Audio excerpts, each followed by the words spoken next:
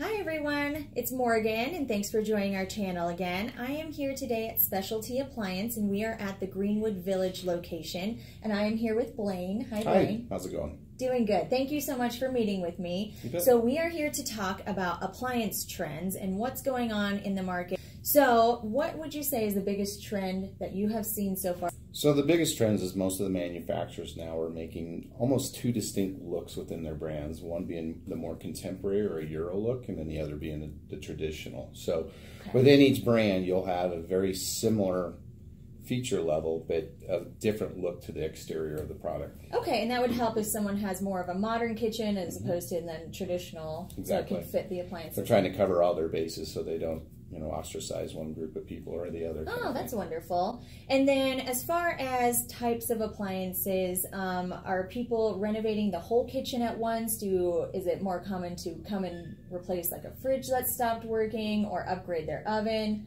What well, are you seeing? What that? we see in our business is that it really is the whole kitchen. I mean, that's kind of what you come to a place like Specialty Appliance for. Uh, um, we don't see a lot of people come in just to do a dishwasher, although we do have that, but it's more that person that's redoing their kitchen and they're looking at redoing the whole thing. So our average delivery is five pieces. So okay. Yep, compared to maybe one of the big boxes where their average delivery to a house is one piece or maybe two at the most, ours is five. So that's typically, you know, cooking, ventilation, cleanup, which is dishwashers, and then uh, food storage, which is uh, refrigeration. Okay.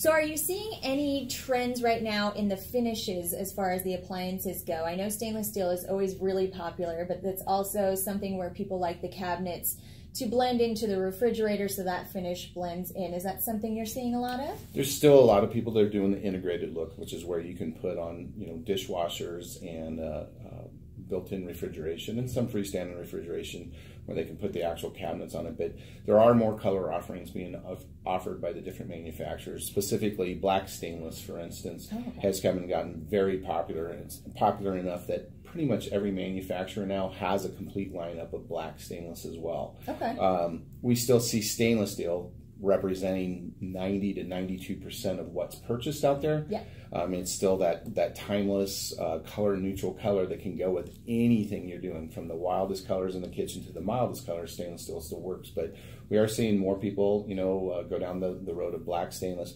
General Electric, for instance, also has some matte colors like uh, slate, and then and they have a matte black color that we're seeing some increase on. They're kind of on an island by themselves. They're the yeah. only ones doing that right now. But but it is interesting. The black stainless is uh, pretty much every manufacturer you can think of is doing that. Okay, great. And then what about for the finishes? I know when stainless steel came out, way in the way long ago. It was hard to clean just because people didn't know how to clean it, and it showed a lot of fingerprints. Have they made changes to the stainless? Steel? They have. Steel? Most of the companies now they have their their traditional stainless steel that does take a little bit more elbow grease to take care of. Um, but for especially you know families that have younger kids oh, yes. that uh, put their Touch hands everything. on everything, um, most of the manufacturers also have whether they call it smudge proof or fingerprint resistant. It's stainless steel that is treated with a coating that makes it more resistant to the fingerprinting and such, and it's a lot easier to clean. Okay, wonderful. For appliances, is it more is it recommended to keep everything in the same brand um, or like you said when someone comes in they're pretty much doing the whole kitchen but if they happen to have the money to replace maybe just their stove would you recommend them staying within the same brand family? Is there a benefit to doing that? Is there a negative? The the best way to buy appliances is buy the appliance that's right for you, and that's when, when we when we talk to a customer when they come in here, we ask a lot of questions: how they use it, what did they use before, mm-hmm. you know, what didn't you like, what do you like now, what's really important to you, and if you do that, it's very hard to stay within one brand. Correct. Yeah. Um, but on the other hand, most of the manufacturers' promotions reward you for buying more within a brand. So there's a there's a trade off there. So if you're buying a lot of appliances, if you stay within one brand, you'll get the most pro- promotional you know benefits from benefit okay. from a from a manufacturer that way. But if you really want to make sure you're happy with the product, you should treat each product category on its own. Look at it, get the product that you think is going to be right for the you know, for your house, for how your family uses it. And sometimes that's not all within the same brand. Okay, that's good. Many of the manufacturers also now um, make what we kind of call design neutral products. For instance, Samsung has refrigerators that don't have a handle on them. They have hidden pocket handles. So that refrigerator now can go with anybody, any other brand's product if mm-hmm. it has a handle because you're not trying to match up handles or settle this design and it doesn't cues. stick out as exactly. a weird one out.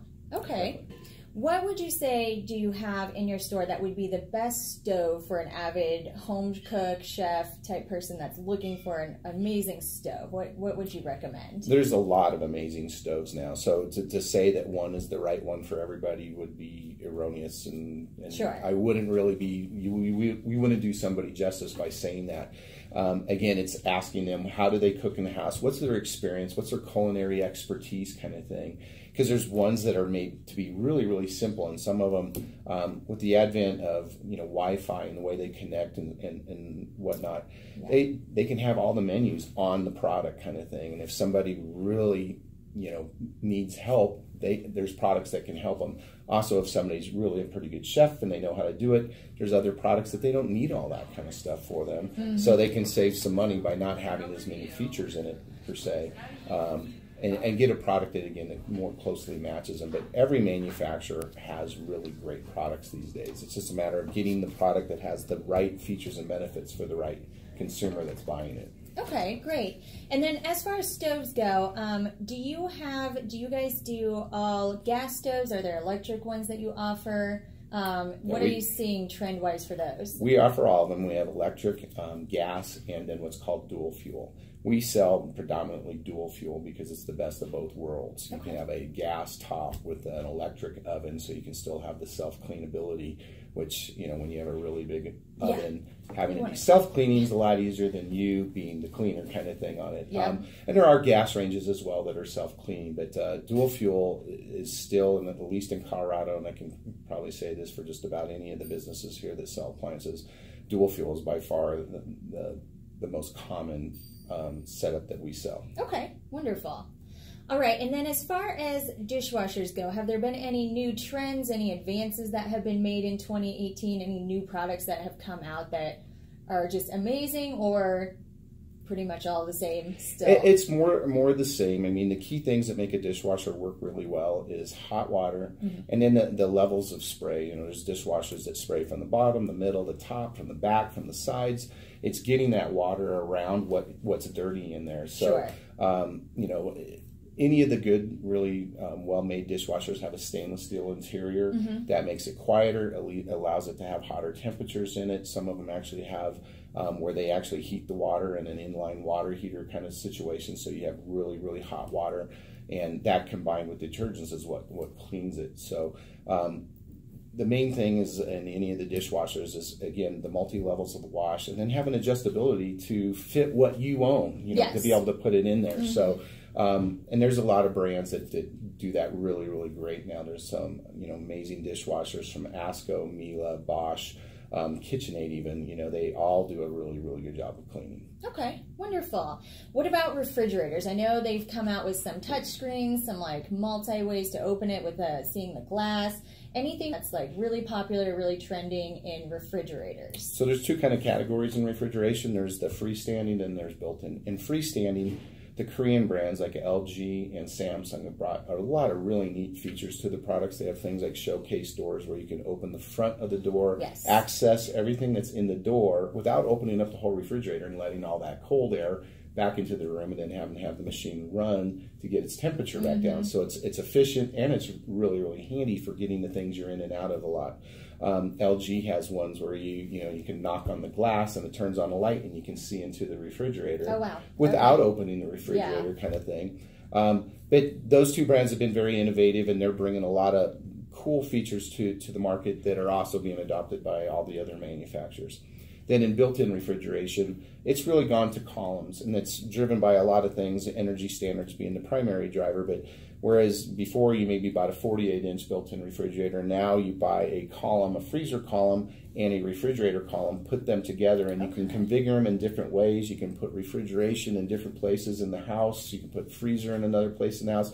You can get one that's all for wine storage kind of thing. And it's kind of like, think of stereo components from the old days. You know, you can stack it any way you want and put it together. Make it really custom. And the the other thing between both brands or both categories is uh, the door configurations. I mean, Mm-hmm. you know, it used to be pretty much top mounts and and uh, bottom mounts and side by sides. Now there's French door refrigerators with three doors, four doors, you know, and and some of the compartments can be converted between refrigerator or freezer. So you really have a lot of options with the product, and it can change while you have it in your house. If you comes you know holiday time you need Oh, yeah. more freezer space you can convert one of the, the compartments to freezer space instead of refrigerator Oh, space or, or vice versa Okay, and then with refrig or yes, the refrigerators with um the you want it to obviously look nice, but then a lot of people like water access or able to fill water bottles and ice. Mm-hmm. Is it something that you're seeing a lot of those go to the inside? I know I've seen some where the water access is on inside. Is it still outside? What are people preferring? You this? see both of them and what i would say is the people that use ice and and do a lot of water they want it on the outside they Immediate don't access, they don't yeah. want it on the inside they don't want to have to open the door to get to it and again when you do that you do let all the cold Mm-hmm. air out too and so now the refrigerator is going to run more and use more energy so Okay. um, it's really comes down to what does the family use like i said we, we, we spend a lot of time talking to folks like how do you use your product now that you have what do you like about it what do you not like about it and you know somebody that's using a lot of ice and constantly going there and i'm one of those people i drink a lot of cold drinks it's like it, i have to have the dispenser on the outside of the refrigerator it'd drive me crazy to have it on the All inside those, yeah, Right. always have to go in. What appliances do you have in the store that would be what you would think is like the coolest or the most amazing thing that you have seen come out recently? There's there's a lot of crazy things. Um, we have like the Samsung Chef has a built-in four-door refrigerator, which is Oh, wow. really unique and different, and, and it's convertible. Um, like I was saying earlier, some of the re- freestanding refrigerators that have four doors and, and uh, you, you know that are convertible and different um, uh, shapes and sizes to them. It, just when people haven't looked at a refrigerator in a long Yeah. time and seen all the new options, um, it's a lot of fun for them. And and then everything is now some type of Wi-Fi enabled. So yeah, I was gonna literally every product out there now has some new cool things that weren't there just three or four years ago. You Mm-hmm. know, they can they can talk to the you think something's going wrong. In fact, some of them are preemptive. They can call um, the manufacturer, and the manufacturer will send you an email saying, "Hey, we're getting an F3 code on your uh, your range. We'd like to schedule a service call for you." Kind Oh, of that's thing. awesome. And, that would be uh, fantastic. yeah, and then other ones actually, um, there's dishwashers and laundry products that will actually get more cycles down the road. So you buy it today, and maybe it has ten cycles. Well, they come up with another two cycles that for that, that their buying public are saying, "Hey, I wish my unit would do this." They make a new cycle for it, and you can download it. And now that product has actually expanded and gotten more useful as it as it ages with you. Oh, that's great. So it helps extend the life of It it, does. too, so you don't have to always upgrade it. Right. So if someone um, at home wants to renovate their kitchen and they need to get all new appliances, what would you recommend is the best place for them to start? Should they start looking? Should they come in and schedule an appointment? Should they come to the store and kind of browse? What is the easiest way to kind of start the process? The best place, of course, is to come to specialty appliance first, right? Of course. And come see one of our, our salespeople. Our sales um, folks, um, we, we pride ourselves on being a real low pressure place. We don't we don't sell extended warranties and all that. We, we want to make it fun. We have uh, uh, chefs on staff. Okay. Come to our show our showrooms, especially on the weekends. You're probably going to get fed an amazing uh, meal as well. But really, the first step is just come in and look around. There's a lot to see. The industry has changed dramatically in the last really four or five years, and it is the advent of technology and it's the marrying of you know a lot of the features that you maybe have in your cell phone Uh-huh. and the way that you work with that have now come to the appliance industry. So it's Mm-hmm. very intuitive. Intuitive. It's uh, it's easy to use and it's fun. So you know w- what we like to say is come come down here and play with our stuff. You Yeah. know, and that's the best way to start seeing it and actually touch it, see how it works, and, and does that make sense to you, and then then you can have some fun with it.